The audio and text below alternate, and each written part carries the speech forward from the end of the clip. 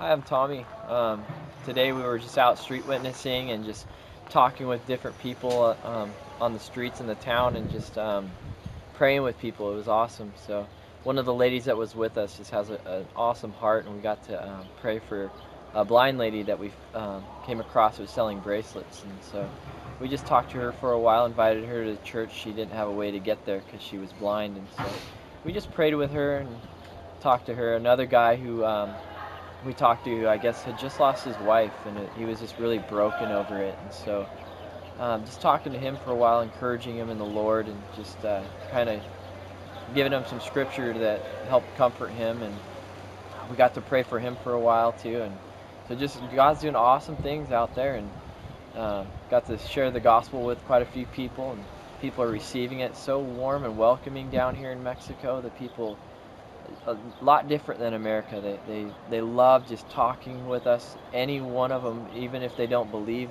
you know, they're really receptive to prayer and just a great time. So